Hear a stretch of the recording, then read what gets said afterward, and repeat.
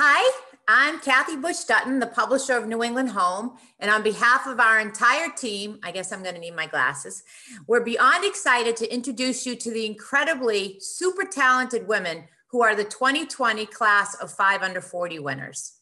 We never fail to be amazed at the wealth of young design talent that emerges year after year here in New England. 11 years ago, the 5 under 40 awards were specifically developed to recognize rising, exceptional New England residential design stars in architecture, interior design, specialty design, and landscape design. Basically, we set out to find the hottest young design professionals in New England. Since our event is quite different this year, as we had to postpone our in person award celebration until the fall of 2021, we're giving the floor today to our five award winners so they can introduce themselves and share their work as well as their design philosophy. In addition, as a special thanks to those of you tuned in today, we're granting you early access to the online auction of each of the winners' custom one of a kind rugs that they've designed.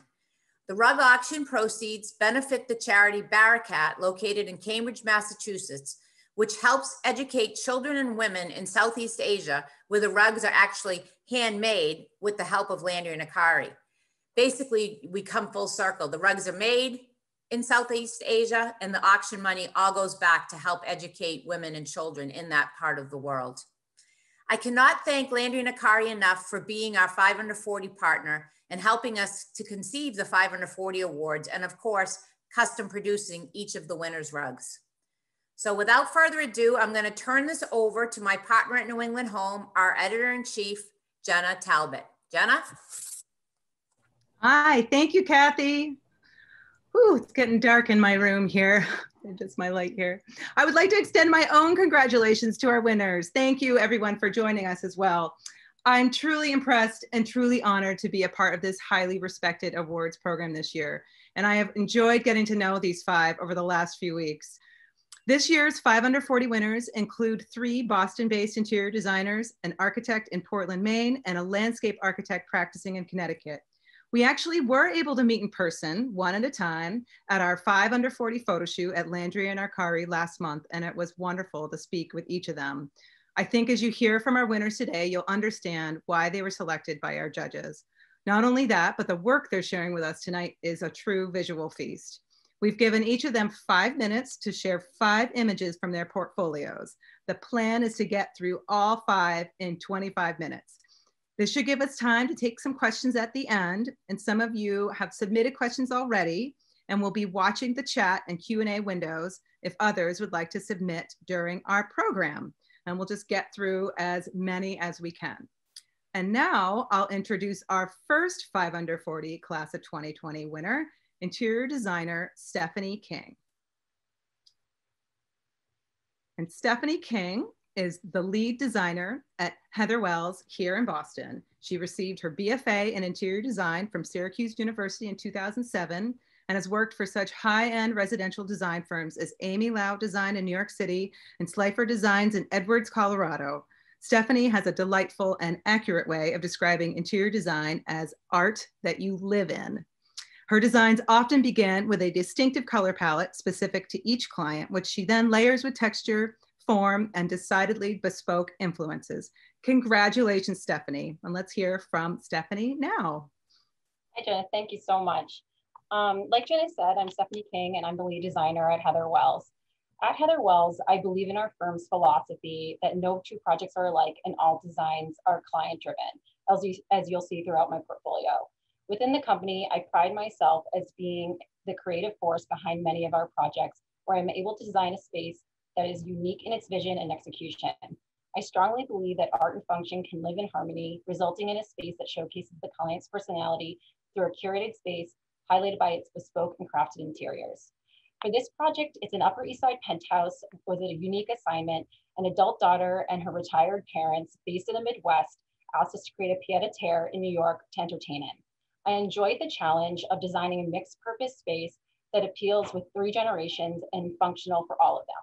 Luckily, the mother and daughter were on the same page in regards to the design approach. They shared a love for antique rugs, soft but feminine colors and tailored furniture.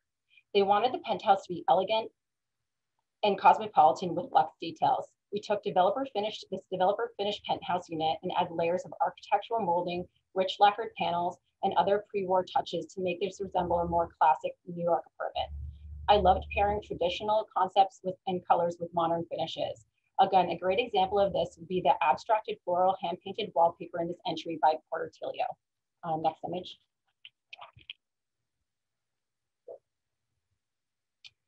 Uh, this is the same apartment, and in this in this uh, photo of this bar, you'll see with the living room in the background, you can see two of the most beautiful antique rugs that were the driving force for this design. I love how this traditional element was the foundation for the beautiful modern textures and accents like the, wall, the glittery wallpaper and the David Wiseman cut crystal pendants above the table. Next slide. For this Boston penthouse, one of my favorite aspects was collaborating with both artisans to create the perfect gallery backdrop for the client, who was also who also acted as the project architect and hired our firm to collaborate on her new venture. This space was sculpted to complement the client's significant art collection, creating a core gallery space made of rich walnut veneers surrounded by layers of shikui Japanese plaster found throughout the apartment. I selected bespoke furniture, fabrics, lighting accessories that complemented the architectural envelope and the muted color palette was carefully selected to harmonize with the client's extensive art collection, as you can see here in this beautiful living room. What I love most about this apartment is the rich layer of interior finishes, including the cast glass doors, bronze buckouts, and 17 inch wide oak floors from Dunmark. The pairing of these sophisticated finishes with the soft interior is a, interior is a great example of how every interior we create feels different and unique for each client. Next slide.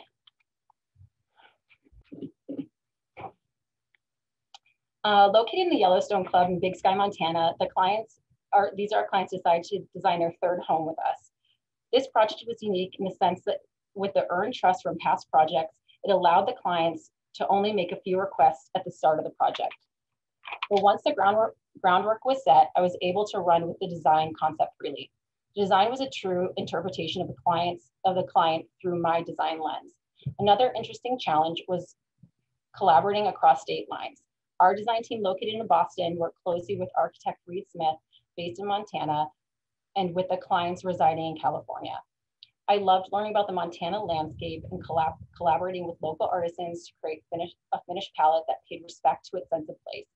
A great example of this, of this is the natural stone cladding found throughout the home, concrete, this concrete island and steel details throughout. The clients were looking for the ultimate mountain party getaway. I think I was able to accomplish this through a modern design paired with use of natural finishes, dynamic furnishings, and color palette. Next slide. Finally, this has always been one of my favorite projects. Its simplicity feels like a wonderful counterbalance to our more complex projects the house is a classic Cape Cod, Cape Cod waterfront estate where the original woodwork and walls were revived with coats of flat white paint to evoke a modern simplicity and complement the family's significant art collection. Working in close collaboration with the client, I created an airy yet intimate space, space with Belgian influenced interiors. Neutral tones carry throughout with black and white minimalist furniture. These super cool marine rope rocking chairs, woven pendant, and paper rug are a great example of this simplistic design. Collaborating with Del Mitchell architects, every detail, refined or rustic, was purposeful, from the white oak wide plank floors to the custom-made Belgian hardware. To create the casual, cool atmosphere, we embrace the existing quirks and roughness to enhance the newly added finishes of the house. As designers, we are accustomed to expecting perfection, but for this project, I embraced the Japanese tradition of wabi-sabi embracing the art of imperfection to create an, an effortlessly cool interior. Done. you did it. And I think you were just a touch over five minutes. Perfect. It's always hard to go first. Well, thank you so much, You're Stephanie. And next up, we have this year's winner in architecture, Jessie Carroll, who is the associate principal with Whitten Architects in Portland, Maine. Jessie completed her master's in architecture in 2010 from Northeastern University. She's a licensed architect in Maine and Massachusetts, and her professional experience includes internships at Chan, Krieger, and Sieniewicz, as well as Cannon Design and UTL Incorporated, where she was an architectural designer. Jessie also served as project manager at Broadwick Building and Remodeling in Falmouth, Massachusetts, where she managed the construction of seven custom homes in Cape Cod. Jessie's greatest strength is a uniquely empathetic design approach where she prioritizes her relationships with clients and builders and celebrates collaboration. Congratulations, Jessie.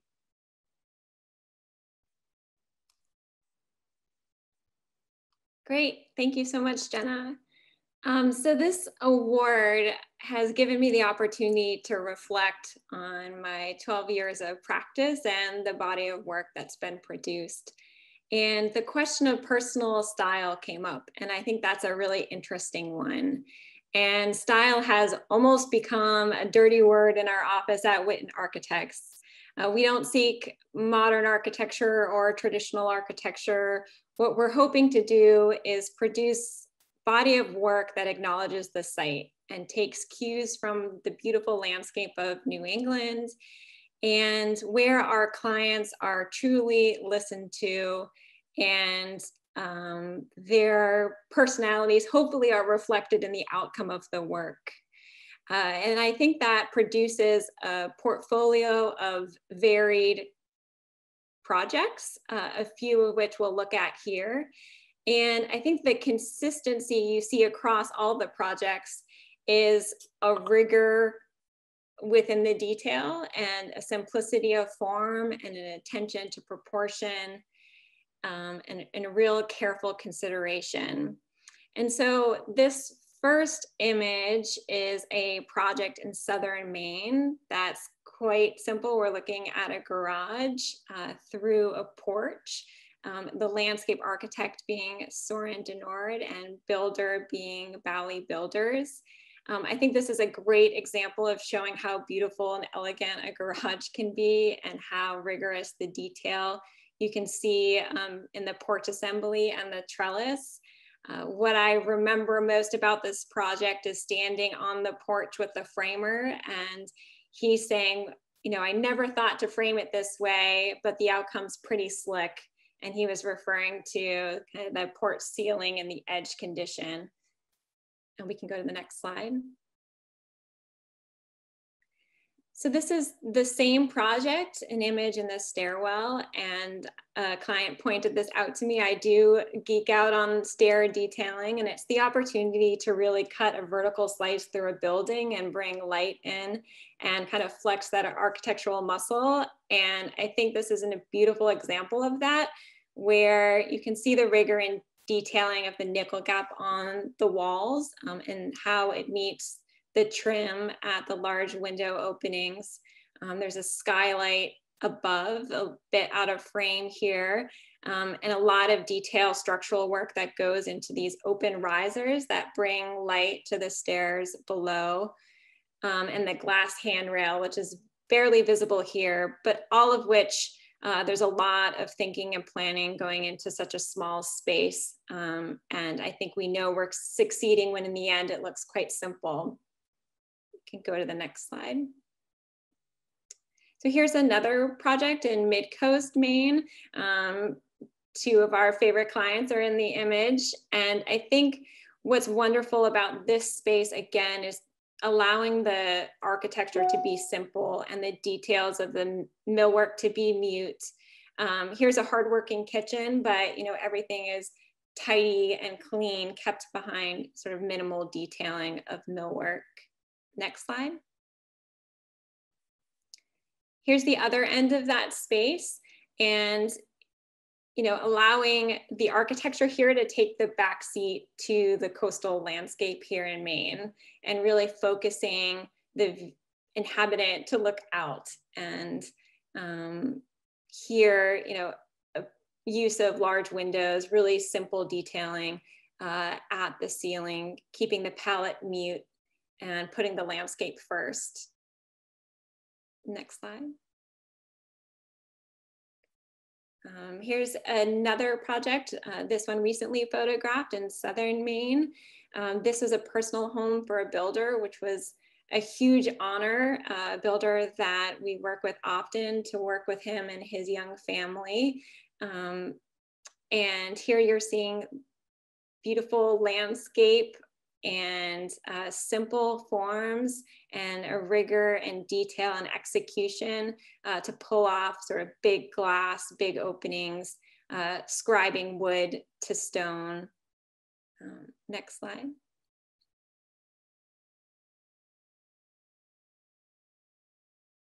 Uh, this is another image of the same home, uh, the last and final image. And again, I think there's a lot of thought and work that goes into pulling off um, a home such as this with big glass, a lot of steel and wood detailing that hopefully goes unnoticed and the result is truly elegant and one that sits in the landscape gently um, and is really an enjoyable space for a young family.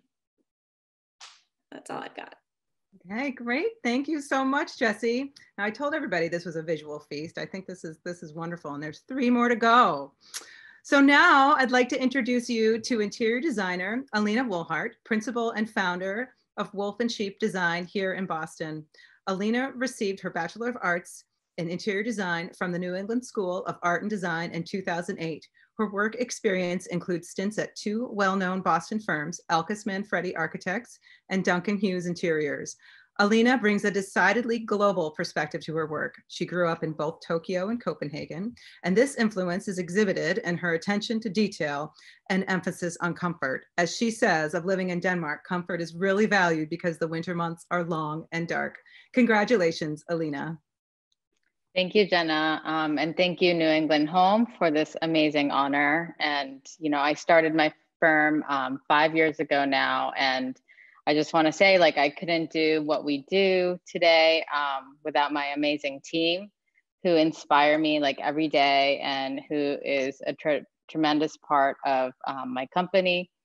And also to the amazing um, tradesmen and manufacturers and vendors that we work with um, you know, it's definitely teamwork to create these beautiful projects. So I'm very grateful for everyone that we can collaborate with. Uh, so this first slide um, is a project that we designed in Bay Village. Um, this is, uh, we actually, a client is a, a, young woman who came to us that needed help um, rearranging her overall flow of the space. Um, the overall space felt very dark.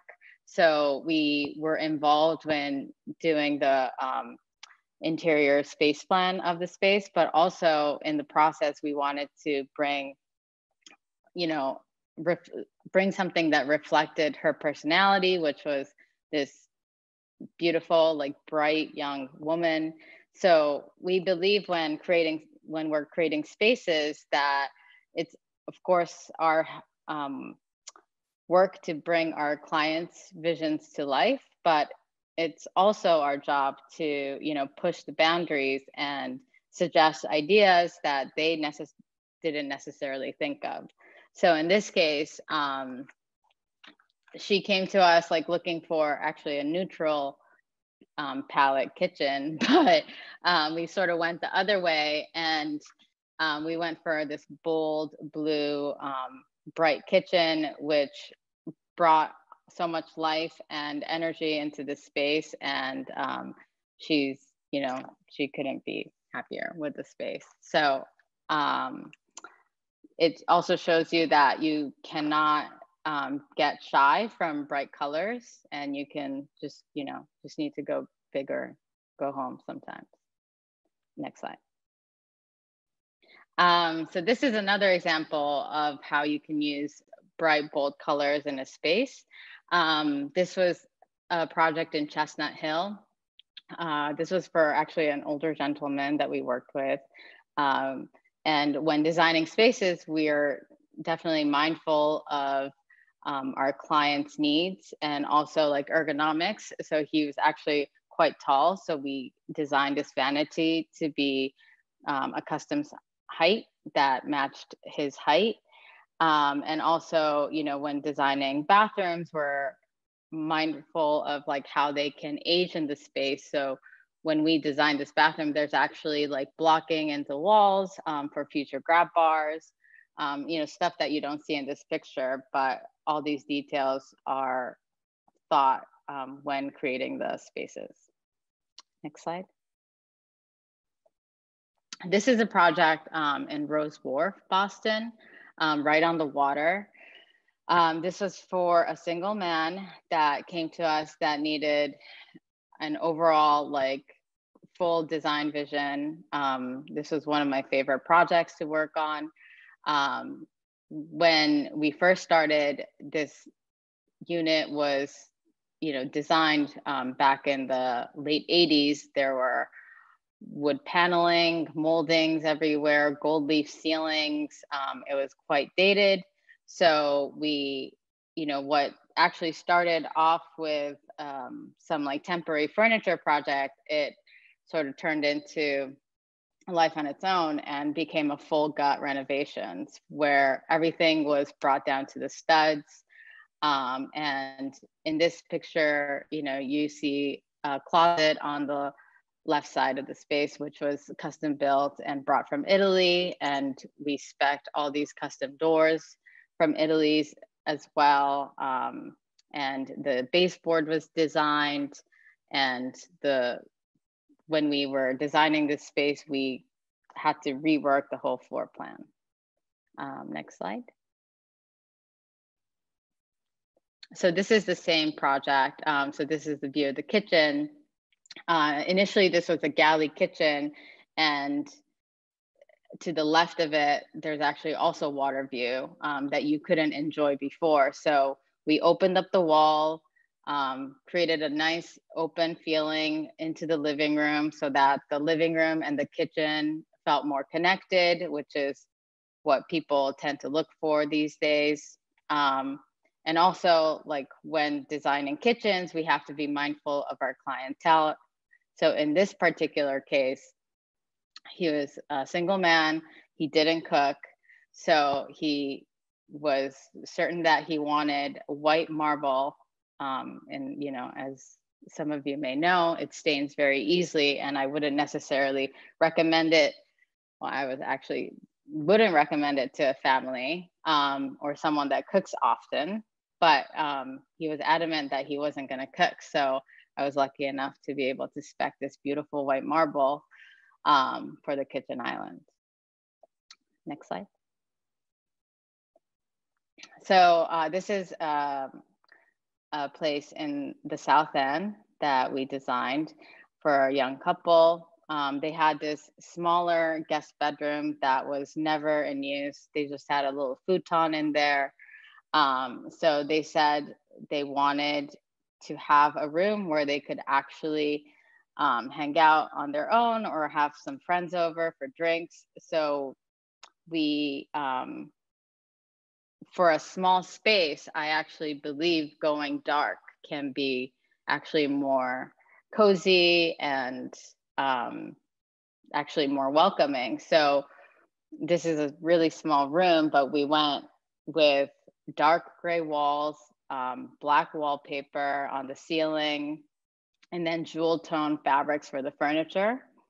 Um, so when, you know, you're feeling a little afraid of dark colors, you don't have to be. I love darkness. Um, and I think what brings this room so much character is the collection of antique items that we were able to source um, through Brimfield and actually reusing some of her um, heirlooms from her grandmother. So this was sort of a little project of passion where it took quite a long time to curate the space, but you can actually tell how much there's a lot of layers into this small little room. And that's it. Great, thank you, Alina. Uh, I actually really love that um, last project and not because I'm sitting in a small dark room myself right now. so our winner in the landscape architecture category is Elizabeth Hendrickson, Senior Landscape Architect at Katherine Herman Design in New Canaan, Connecticut. Elizabeth credits her upbringing on her grandparents' organic farm in New Jersey with fostering her love of plants Elizabeth completed her Bachelor of Science in Environmental Science and Landscape Architecture at Rutgers University in 2006, and she is a registered landscape architect in New York State and Connecticut. She worked as a landscape designer for firms from Maine to New Jersey, as well as LeBlanc Jones Landscape Architecture in Boston, before joining Katherine Herman in 2011. Elizabeth aims to create landscapes that blend seamlessly with the surrounding architecture and feel as if they've always been there. Congratulations, Elizabeth.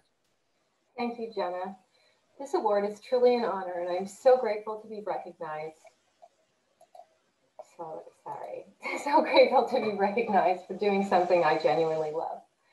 As Jenna mentioned, I'm Senior Associate at Catherine Herman Design, where I've worked for over nine and a half years and have had the opportunity to work on an incredible variety of projects. Through this award process, I have been asked several times to describe my style of design. However, I've realized that I don't actually design with one style in mind because it is my job to complement the architecture of each project and create a landscape that appears as if it was always there. Every home and every site is different, and every client has their own unique program and wish list for their garden. When every project is a different style, a new challenge is always presented and the creative solutions endless. The following images are examples of five different projects of varying styles in which plants and hardscape materials are used strategically to blend the constructed elements into the surrounding site. This first project is located in Greenwich, Connecticut. A contemporary home designed by Amanda Martocchio Architects is truly integrated with the site. The reflective windows mirror the surrounding woodland, creating the illusion of a transparent structure. The pool with built-in spa is nestled between the very prominent existing rock outcrops in the rear yard. Locally sourced materials are used for the hardscape. Bluestone is used for the pool terrace and a fieldstone wall stacked in gabion baskets is used for the retaining wall that stretches between the exposed ledge. Plantings of small trees and shrubs in varying shades of green provide layers of color and texture, while several types of ornamental grasses and perennials add a touch of whimsy, blending the built environment into the surrounding wooded site. Next, please. This project is also located in Greenwich, Connecticut. Situated on the water, this home is in the French style and the landscape truly complements the architecture. We were tasked with renovating an existing landscape and used the opportunity to create hedged garden rooms, a formal lawn, incorporate topiary, wildflower meadows, and wisteria vines into the design. This image shows a gravel seating area under pollarded London plane trees with white roses lining the space. The view beyond of the lawn steps and sloping meadow leads to the formal lawn at the back of the house. Meadows are planted with seasonal bulbs and a wide variety of flowers, providing interest throughout the season as well as habitat for migrant birds and pollinators. Next, please. This may be one of my favorite spaces, and I get so excited when I visit this property and get to see what's blooming and feel the embrace of the surrounding landscape at the rear of this guest house. This home is located in Westchester County, New York, and was designed by Peter Penoyer Architects. This five acre site has an abundance of beautiful rock outcrops and native woods, all of which served as inspiration for this landscape design. This rear terrace was designed knowing we would have very limited access when this project was completed, so we created a space in which a lawnmower would never be needed. Per our client's program, included in this rear space are a large dining table for gatherings and parties, a fire pit with casual seating, as well as a checker and chessboard. The large stone terrace transitions from a solid paving pattern with tight sand swept joints to a looser pattern with gravel joints of varying sizes. Catmint, creeping phlox, and mazus are randomly planted to break up the paved area as well. Boulders interrupt the curved antique stone steps that embrace the entire area. A perennial border provides color, depth, and texture and is backed by lush evergreen screening trees. Imported boulders are used to retain the steeply sloping hillside with creeping phlox and lamb's-ear planted between them. Next. Sorry, I said next. Moving to an entirely different style, this Mediterranean home in Darien, Connecticut, designed by Vicente Burin Architects, is perched on a hill with sloping lawns and mature trees surrounding it. We were tasked with creating outdoor living spaces that serve a variety of functions, from everyday dining, lounging, and gathering to the occasional tented wedding. The spaces of the courtyard are organized using brick inlays, lawn panels, and brick terraces. The custom furnishings and planters provide function and flexibility for a family that entertains frequently. Large palms create height and variety with while glow boxwoods punctuate the custom designed backless benches, which serve to separate the lounge area from the paths to the additional outdoor garden rooms. An antique wellhead and water feature flank a space with additional planters full of seasonal blooms. Next, please. Lastly, this traditional home in Scarsdale, New York, designed by Aliceburg Parker Architects, is owned by clients that love plants. Plants are in fact one of my favorite things, and this project provided me the opportunity to play with flowers. This pool area was transformed when the renovated bluestone terrace was reduced in size to minimize the amount of pavement near the pool, while still providing enough space for the client's existing furniture. Grass joints separate the paving stones in areas where only paths are needed. A palette of purples, blues, and white, my personal favorite, create layers of flowering perennials surrounding the pool, providing a lush and almost secret garden space. Varieties of salvia are mixed with white astilbe, catmint, lady's mantle, and other perennials that bloom later in the season. The swooping hornbeam hedge separates the pool area from the rear yard, while large mock orange flank the door to the home. And that's that. Great. Thank you so much, Elizabeth. And I'd like to point out the plants behind Elizabeth, which I think are really fun. I love it. Um, and I hope everyone's being is able to see these nice and large. Um, they're very minimized on my screen, though I've seen them before. These, these are really beautiful, beautiful projects that we're seeing today. So last, but most certainly not least, I'm pleased to introduce interior designer Emily Pinney, who is principal and founder of Pinney Designs in Belmont, Massachusetts, and owner of Sid and Sam, a home decor and custom furniture boutique in Cambridge. Emily received her Bachelor of Arts in Interior Design from Boston Architectural College. In 2008, she also studied furniture and lighting design in Florence, Italy via the study abroad program at Fairfield University. Emily comes from an entrepreneurial family. Her father had a design build firm in New Hampshire, and as a child, she spent hours on job sites and in his workshop. Today, Emily is known not only for her talent as a designer, but as a mentor to younger designers. Fostering emerging talent is important to her, as is giving back to the community that nurtured her. Congratulations, Emily. Thank you, Jenna. That was really nice. Um, I'm so happy to be here and being a part of this amazing group of women. So fun that it's all women this year. I know it's happened a few times, but I'm glad it's happened this time as well. Um, in my career as a designer, my clients have always really loved my practical and pragmatic aesthetic in the way I approach projects and become part of the team.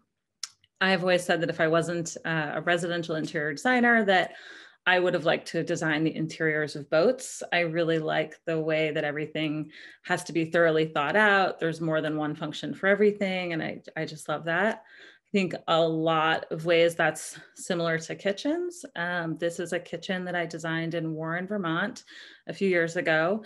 Um, and this kitchen, everything was built into the islands because there's, you'll see in a minute, but there's really amazing views um, off the frame to the right.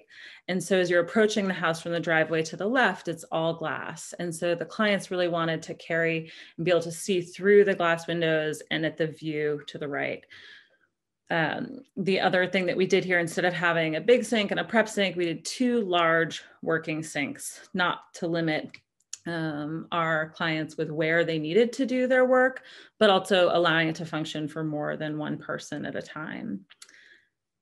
Next slide. So this is the view that you can see and you can understand why the clients didn't want to block this um, with, it, with your typical kitchen. Um, this chandelier is a really fun piece for me. I think as designers, we're very often looking for something that's going to make a nice statement, something that's big and bold. But in this case, we really wanted it to disappear. You can tell that if we had an iron chandelier here, it would really block that view and be right at the crest of that mountain. Um, this is a really fun fixture from European brand named Quasar, and it has 70 little bulbs on it. And I think it really complements the landscape beyond with, you know, kind of looking like a galaxy at night, but really letting you look through it. Um, Next slide.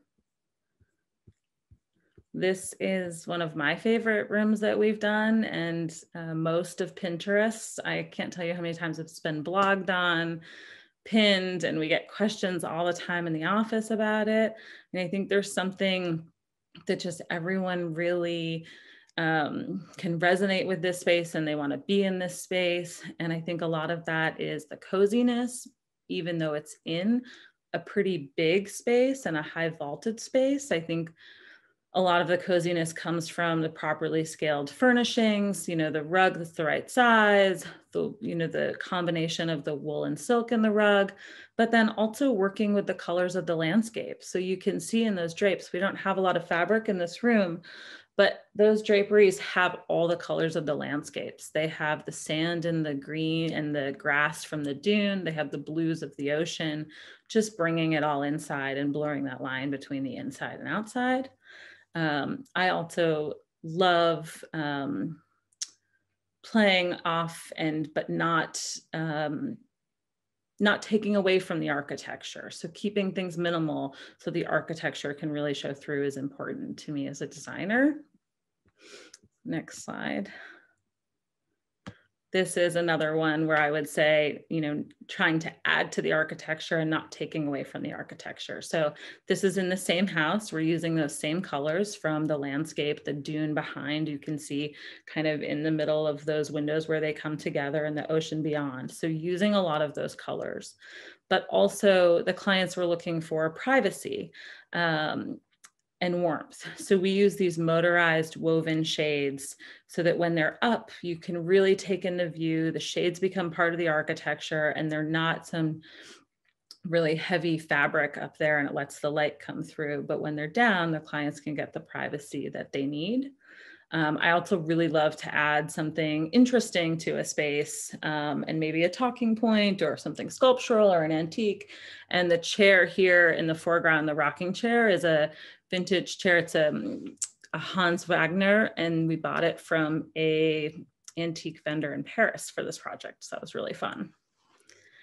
Um, and then next slide, it's my last slide. So something I, this was a project that was really um, special for me. It was last summer. Uh, we partnered with the Room to Dream Foundation. So the Room to Dream Foundation is a nonprofit here in Boston, and they work with children's hospitals, and they um, they renovate rooms of chronically ill children. And this was something that I've always wanted to do, and I think a great way to give back and give our time and our talent. Um, so this was not just me, it was my entire office pulling this off. We did it in one weekend. So we obviously designed it, had everything ordered.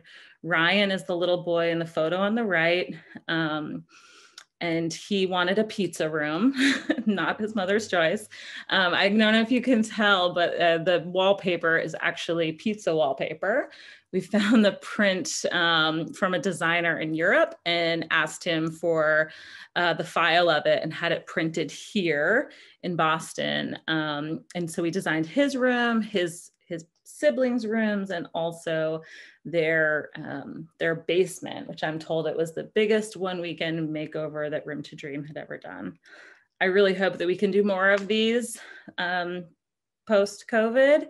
I think it's a really amazing way to be able to give back to our community. I think any designer that was on the, our speaking panel tonight would tell you that we are always designing our spaces for the enjoyment and elevating the interior environment of our clients' homes, which is a really great and fun thing to do.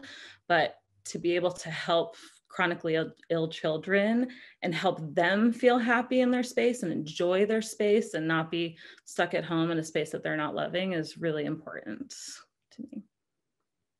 That's it. Well, that was fantastic. Thank you, Emily. Uh, designers can do anything. Pizza wallpaper. that was wonderful. And you all spoke about your work so well. I think that is um, an absolute uh, skill set as well as, as creating the work, is being able to, to share and, and talk about it in this way. So we have a, a, a little bit of time left. Um, we're going to get to some questions. A couple came in, which I'm keeping an eye on, but we did have some that were submitted ahead of time. And by far, um, the, the most popular question, um, it's very timely. It's how have you managed to remain inspired and creative in quarantine conditions? And do you have any advice to share that may help those of us struggling behind a screen and not out in the world? So, who would like to go first on that? I can speak to it. Yeah. Um, you know, we've been really, really fortunate to be so busy during the entire pandemic, which initially came as a bit of a surprise. We didn't know exactly what to expect. And um, we just stayed really busy and had great clients along the way. And so the inspiration that we're gathering is, is almost as if, you know, the inspiration we would always be getting from um, imagery and past projects and um, traveling that we've done in the past. I mean, we always gather loads and loads of imagery when we start to begin a project. And obviously, for our, our uh, field, the um, architecture and the site that we're designing in are so prominent in, in how we design space um, or a landscape. And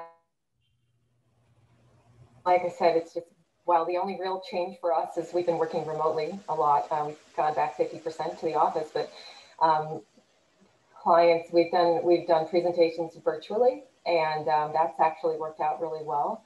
Um, although sometimes it's like talking into a vacuum. Um, but um, for the most part, we've been so, so fortunate to continue to do what we do um, with really great clients through all of this. The program has changed, but um, uh, work still goes on. That's for we sure. carry on. That's great. Thank you, Elizabeth. Stephanie, did you want to answer that one? I look like you might have oh, Sure. um, I agree. Like, our we have not slowed down. We're equally as busy, and I think um, being in this atmosphere, I think a lot has to do with how important home is right now to everybody, and really investing their time into their home. Um, a few things early on during um, when we had stay-at-home orders, I found were really interesting um, for inspiration. Once people kind of worked out the kinks of Zoom, um, there were a lot of like home tours of very famous designers that I would go into and, and follow. And even if it was in the background, just seeing these other people's people opened up their homes, these you know beautiful designers or artists, they shared their homes. Um, and you could see how they think and what they collect and all this beautiful textural interior that you may normally not get to see other than in the pages of a magazine. And I thought it was just so interesting because you got to see it and it was more um, true to them because it wasn't perfectly manicured and it didn't have every you know you got to see every single flower in place but you, you got to see how they really lived. And i thought that was a really intimate view um, into people's homes and a great inspiration um, to future projects and just just in general just inspiration for the time that we're in at the moment. Um, i mean on top of that i mean instagram and anything you know i've just really upped my game on following artists and designers that I absolutely love and furniture makers and things like that and really trying to go further into their work rather than just looking at it quickly like save really saving things and going back and looking at them thoroughly and taking them in um, because we have a little bit more time not commuting and things like that. So just taking the little bit of extra time that we do have to use and um, use it to inspire myself and clients and client design that's great. And I think Instagram has been a kind of a lifesaver and a lifeline uh, for many of us, uh, which was a kind of a question down the line too, um, is, is if there's particular uh, avenue of social media um, that you, that any of you um, use to help expand your brand. Um, I don't want to assume that's Instagram, but I feel like that's, that's a pretty great tool for people these days. And if anyone else wants to respond to how, to, how you're staying creative these days too, I, um, uh, uh, hop right in. I mean, I think it's hard to stay, um, to keep your creative juices flowing when there is just so much happening in the world right now. You know, um, I think everyone's really tired. Um, just going through what we're what we're all going through. Everyone has their story of, you know, like 2020 definitely has been one hell of a year.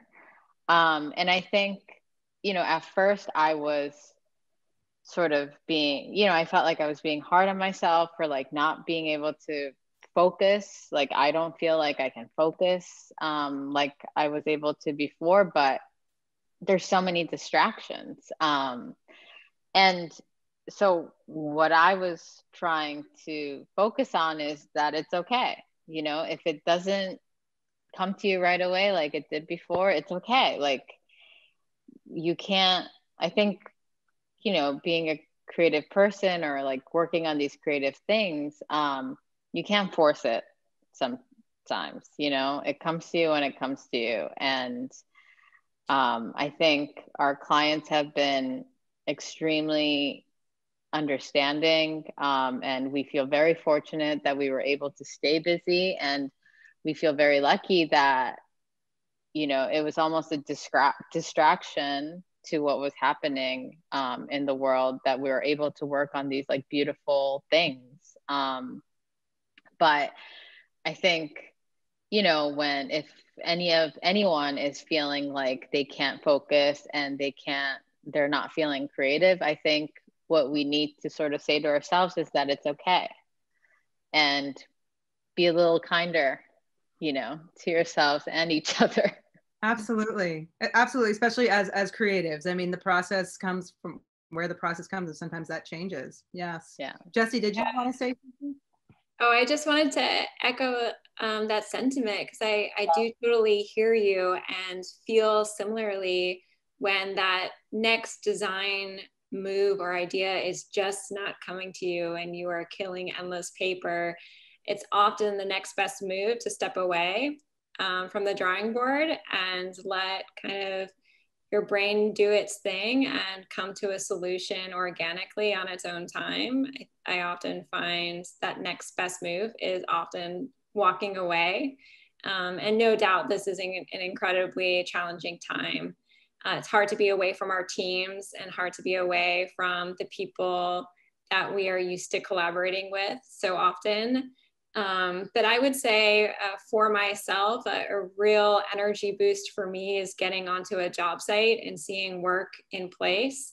Um, we'll spend a, a year behind a computer designing at our office with our clients and with our team and going to see the fruits of the labor in place and in motion uh, reminds you that you will get there and uh, can be really exciting um, and really rejuvenating um, part of COVID times.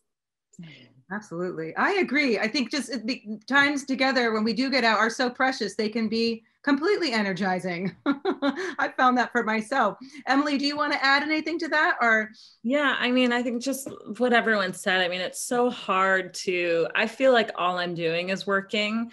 You know, I have two young kids and it's, it's, I, i've find a very hard time to stop working, stop answering emails and enjoying time with them. And I, I've been just shutting it off on the weekends and my husband and I go hiking and put the put my parents with my kids but I find that I a lot comes to me when I'm just out and away from the computer so we've been hiking a lot and I get a lot of ideas while I'm doing something outside of where I think I would find it obviously Instagram a ton but I think it's just important to be be kind to yourself and if you are struggling just being behind a computer getting away from it is probably the best thing to do That's absolutely that's, true. That's a beautiful sentiment um, that you added, Alina, and everybody else, just because it is true. Like, as much as you can still be, we're all talking about how busy we are. I think that is very true. Like, I have two children too.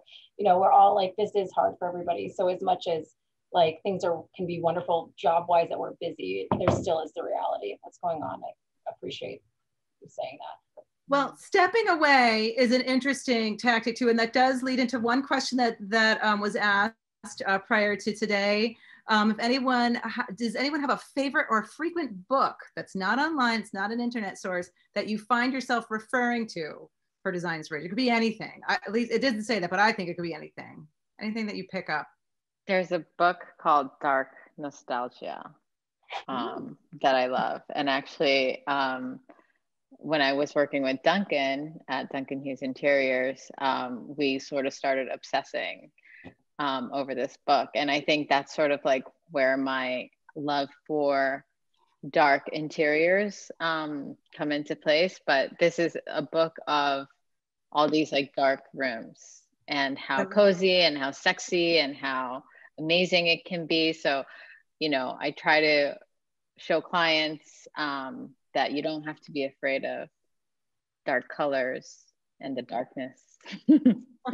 I just wrote that down. I love it. Anybody else? Anybody else have a book they want to mention? Jessie? Yeah, I could add um, when I started at Whitten Architects seven years ago, the founding principal put a book on my desk that's um, Wenche Selmer's book, Norwegian Wood.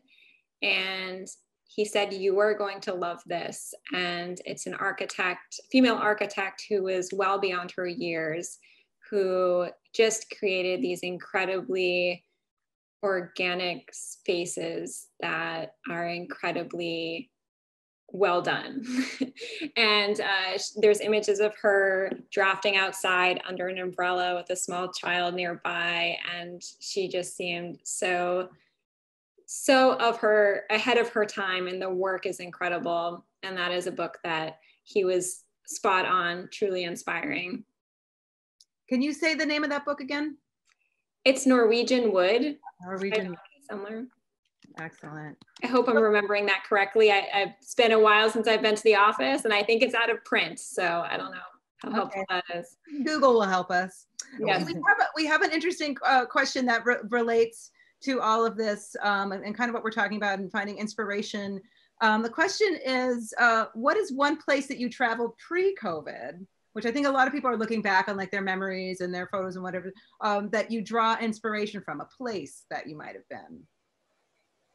Anyone? I know this is a new one. You didn't get to view this one before, mm-hmm. before we started. well, you mentioned in my intro that I studied in Florence, um, mm-hmm. and I've been back many times since. I just find that the architecture there and the colors of the landscape and the buildings, just I find that very a very inspiring place. I love going to the museums and um, going to the restaurants and just walking around the town and the city and um, soaking it all in. I mean, I, can't wait to go back. Yes, the history for sure too. I studied in Florence as well. Yeah. Anybody else?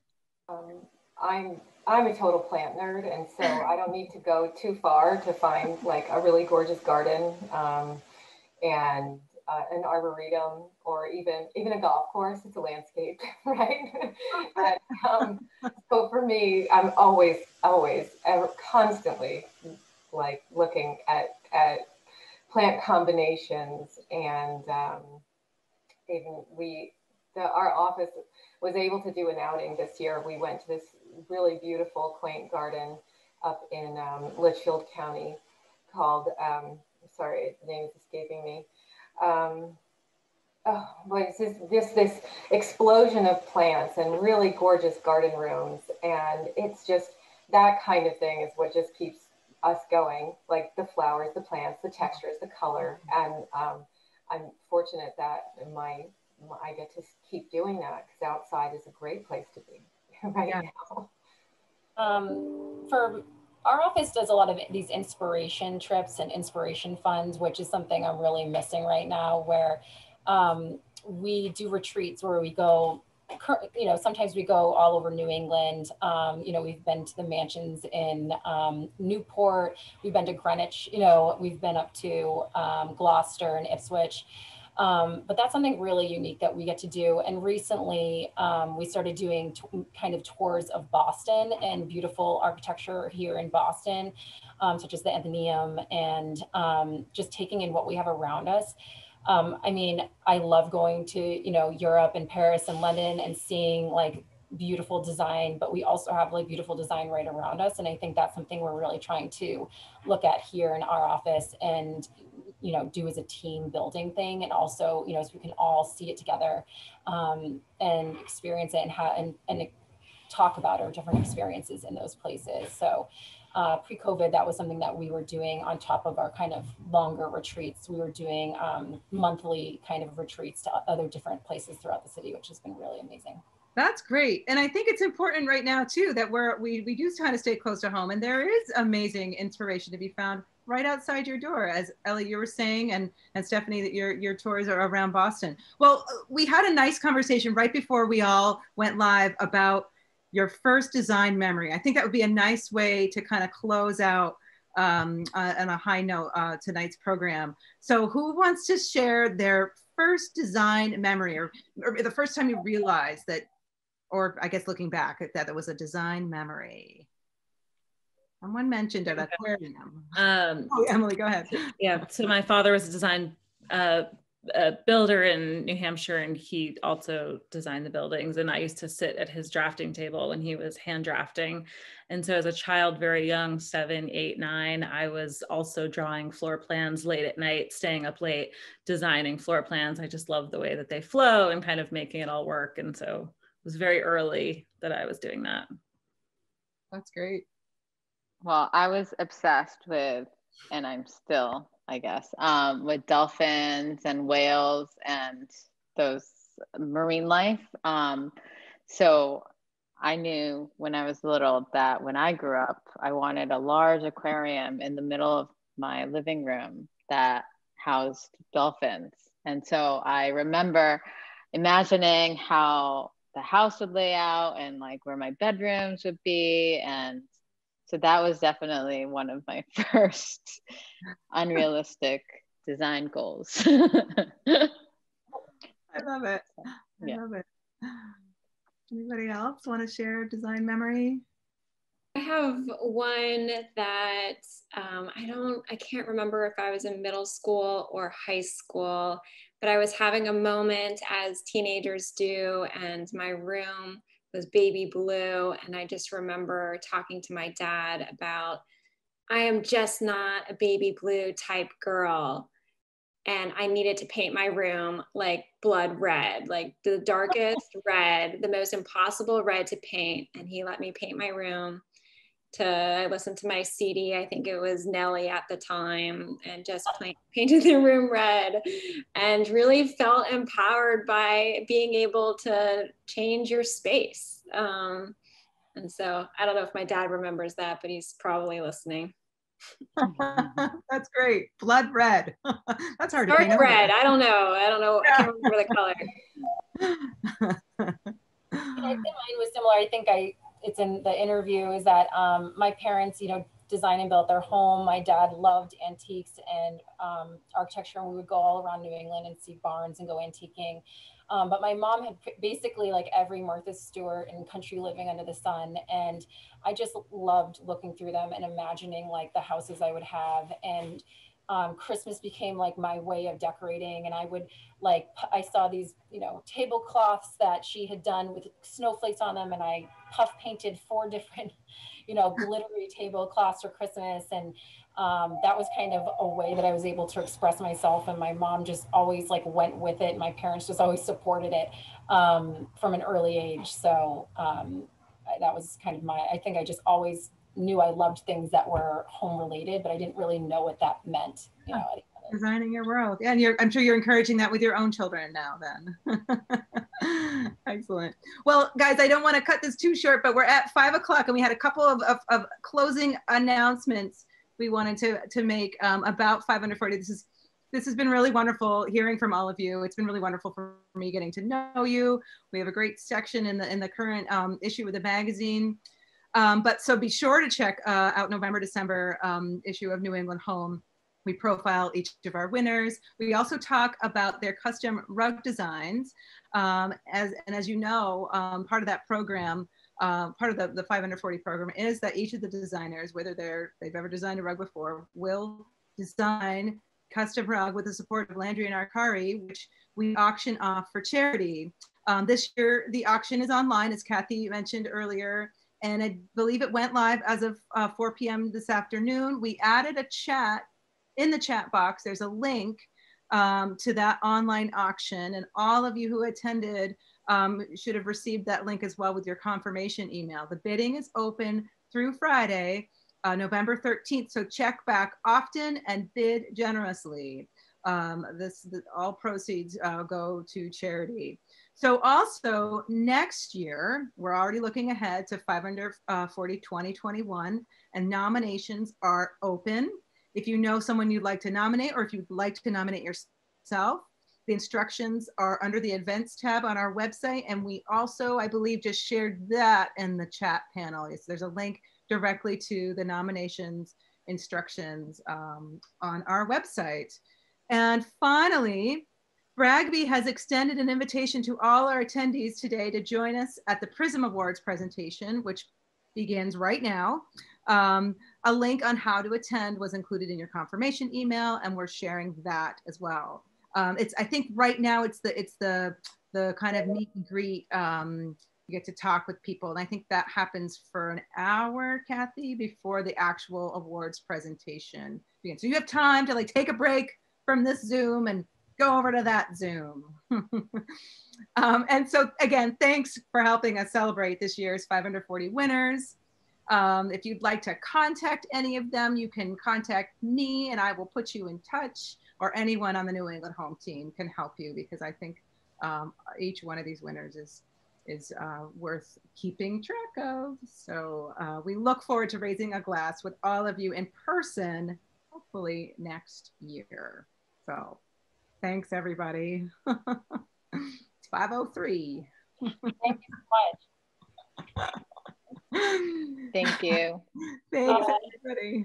Take care, guys.